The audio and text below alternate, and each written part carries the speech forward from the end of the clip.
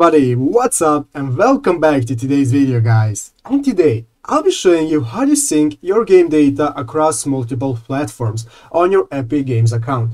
So yeah guys, make sure to watch this quick and easy video till the very end and follow my steps correctly, so you can make sure you can do this yourself and that this works the same for you. But yeah guys, let's get straight into it. The first thing you want to do guys is go ahead and open up the Epic Games launcher if you haven't already.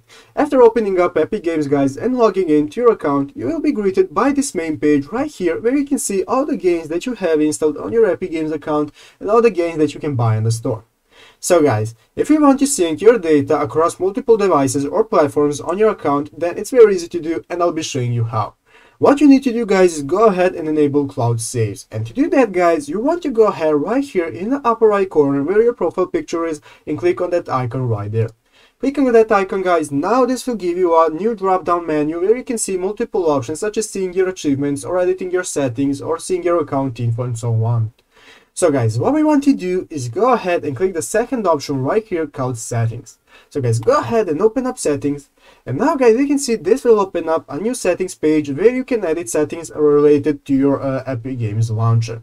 So guys, what we want to do is go ahead and scroll down a bit until you find this option right here called enable cloud saves.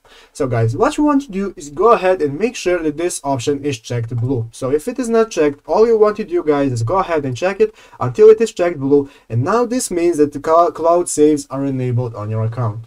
So guys, now you can go back and the next time you play a game and you want uh, you you're finished with playing a game, you will automatically sync your data with your profile, and then you can play the same game from the same. Uh, you can uh, use the same save on another uh, PC or platform if you are using this account. So yeah guys, that's how you do it. I hope this video was helpful. If it was, make sure to leave a like and subscribe to the channel. So yeah guys, thank you for watching. Take care and bye.